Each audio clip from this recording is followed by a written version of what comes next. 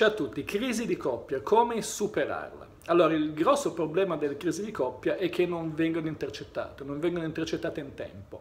Le persone lasciano che il malessere si amplifichi, vedremo poi in quale aree della relazione di coppia, si amplifica, si amplifica, si amplifica, non ci si rende conto eh, o si fa finta di non rendersi conto di quali sono i problemi, si preferisce non affrontarli, fin tanto che superando una certa tolleranza poi scoppia. Scoppia come? Eh, scoppia come che una delle due persone o lascia l'altro oppure eh, intreccia un'altra relazione un'altra relazione poi magari finalizzata a chiudere con, con, la persona. E questi problemi possono essere in diverse aree della nostra vita, possono essere ad esempio nell'area eh, sentimentale, affettivo, sessuale ad esempio, per cui non c'è più comunicazione affettiva, la comunicazione diventa sterile, sporadica, legata soltanto a problematiche di vita quotidiana, ma non c'è più affettività, oppure diminuisce molto, drasticamente, se non del tutto, la passionalità, la sessualità.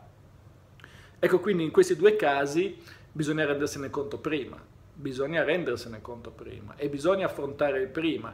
Voi pensate che una piccola, pensate a un, per fare un esempio pratico, un, eh, un razzo che parte, un, un missile, qualcosa, che deve seguire una traiettoria e si scosta da questa traiettoria per una piccola angolazione mezzo grado.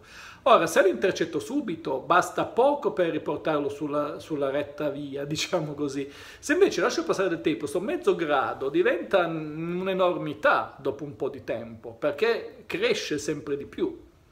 Ecco quindi che intercettare subito è la cosa fondamentale per risolvere le crisi di coppia, un po' come veramente nelle malattie. Uno dice al tumore, se lo intercetti, diciamo, appena si manifesta la prima cellula cancerogena, riesci subito a bloccarlo.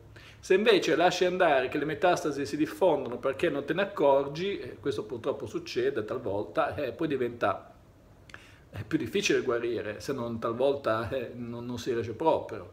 E così nelle crisi di coppia. Quindi bisogna sviluppare empatia, la capacità di percepire quello che percepisce l'altro. Questa è l'empatia eh, a livello profondo.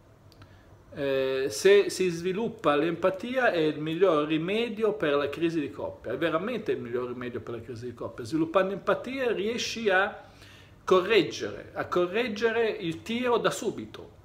E nel momento in cui riesci a correggere il tiro, nel momento in cui ti rendi conto che c'è qualcosa che non va, riesci a metterlo subito a, a, a posto.